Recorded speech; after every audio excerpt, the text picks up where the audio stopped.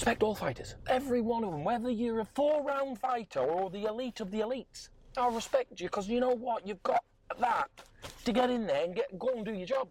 So good on you. You know? But me and Nathan, I was going back to what I said.